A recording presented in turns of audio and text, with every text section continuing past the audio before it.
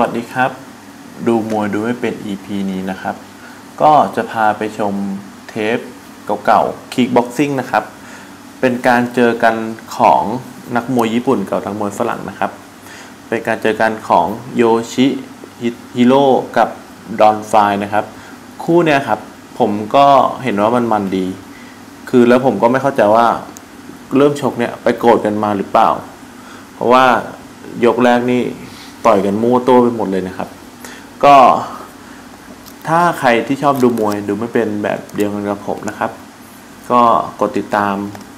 ดูไฟท์มันดูมวยมันๆที่ว่าผมจะามาเปิดให้ดูกันนะครับ ก็ไปชมคลิปกันนะครับว่ามันจะเป็นยังไง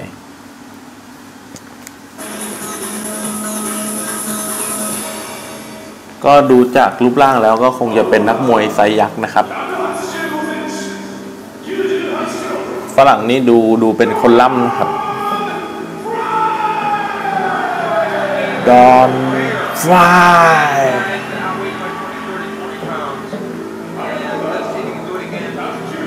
ก็นักมวยญี่ปุ่นนี่ดูดูทรงแล้ว เหมือนจะลงพุงเลยนะครับ โยชิโร่เนี่ยครับ ก็ผมก็ไม่เข้าใจว่ามองหน้ากันนะครับ ก็ จะจูบก็ไม่จูบ จะต่อยก็เนี่ยมายกแรกเลยนะครับ ก็ใส่กัน มาดูกันดีกว่าครับ ผมพูดไม่อยากครับ จังหวะการต่อย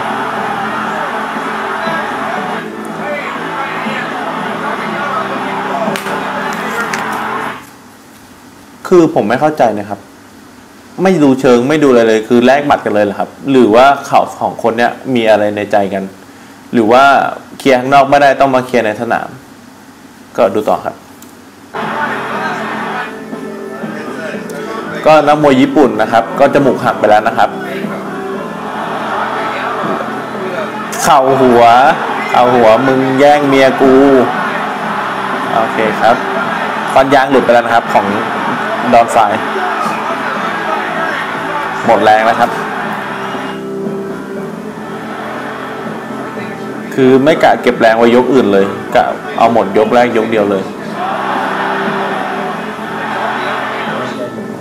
หรือว่ามันคือมวยปั้มก็ใครที่รู้ก็บอกหน่อยนะครับ ว่ามันใช่มวยปั้มหรือเปล่า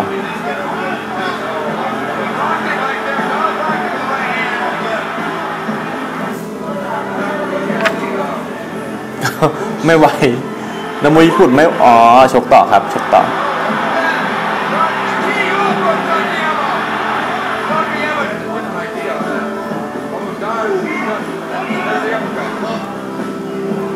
ผมว่ามันต้องมีอะไรในใจกันแน่ครับมึงดูดิ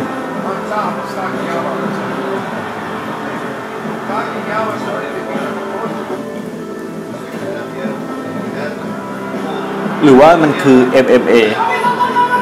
อ่าโอเคครับ ก็กรรมการจับแพ้ไปนะครับ เพราะว่าถ้าอยู่นานสันนี้ก็ก็โดนไปเรื่อยๆครับ อเคครับดูไม่ได้เลย ดูไม่ได้เลย เออขอโทษกันเป็นมารยาทครับ